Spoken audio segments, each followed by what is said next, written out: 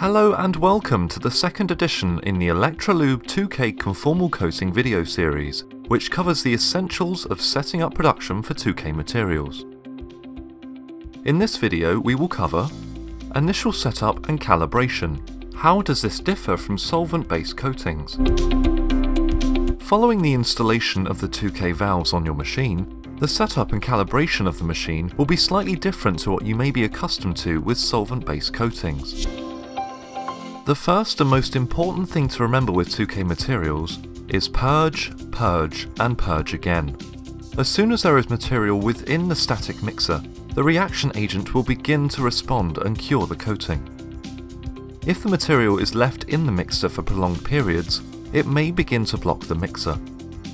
By purging regularly at each stage of calibration, you will ensure that any cured material in the machine is flushed through, thereby ensuring a desired effect from the coating process. So how does 2K material setup differ from traditional solvent coatings? The settings you will need to consider when calibrating your applicator for 2K materials are air pressure to the material, air pressure to the spray cap, and finally, the temperature that you should heat up the material to. Air pressure for both the material and the spray cap is something that you will probably be accustomed to, as these are also standard considerations with solvent coatings. The only difference here is that you have two settings, one for the coating and one for the reaction agent. These should be set to the same PSI for both components, and we would usually recommend somewhere around 25 to 30 PSI, however this will vary depending on which 2K material you are using. Your technical sales or support representative will be able to help you determine this figure, should you require it. The next consideration is for the air pressure for the spray cap. Again, you should be familiar with this, and we would usually recommend around 3.5 psi, but this will vary with different 2K material. It is also worth highlighting at this point that the position of the spray cap on the machine is important to achieve desirable results. For example, in our research and development laboratory, using our PVA Delta machine, we have found that when installing the spray cap, if you screw it fully into place, then unscrew by three full turns, this will generally give the best results.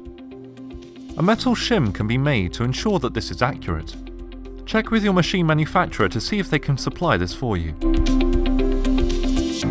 Finally, we have the heating valve temperature, should you choose to use it.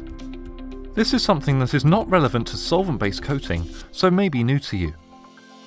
When using 2K materials, it is advisable to heat the valve. This is because the 2K materials are thicker than traditional solvent coatings. By applying heat, you ensure the material flows well throughout the valve.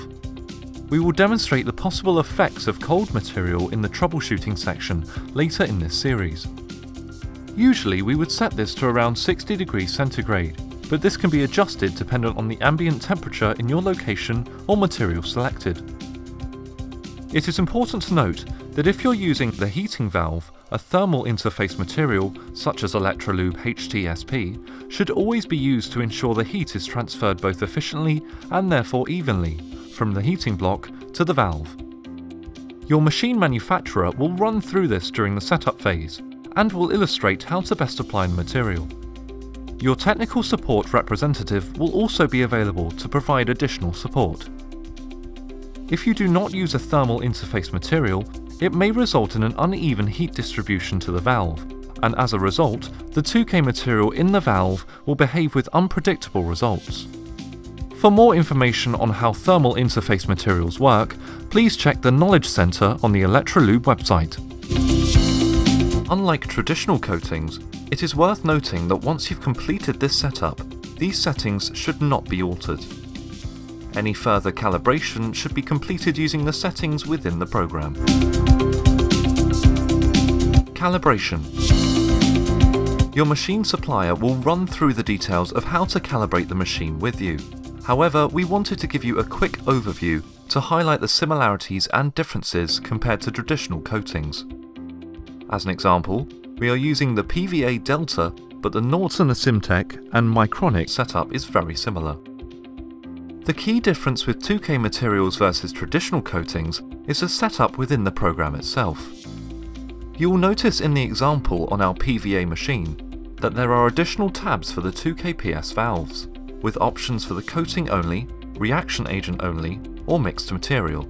There is also the all-important purge button. Additionally, there is a new tab, in this instance called the VPX, that includes all important information regarding the material, such as the mix ratio, flow rate, and temperature. Unlike traditional coatings, the flow rate should always be controlled from here, rather than adjusting the micrometer. The mix ratio is a new addition. It is the ratio of coating to the reaction agent required and can be found on the technical datasheet of the product you're applying. Purge. I know we've already mentioned this, but regularly purging the static mixer will ensure a smooth flow of material and prevent blockages.